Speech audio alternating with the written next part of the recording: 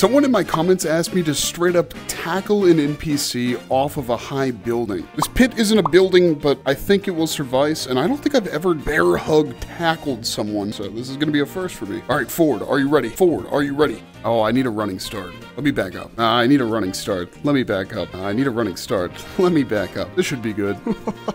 feel like I'm in one of those TikToks. All right, come here, buddy. Oh! oh!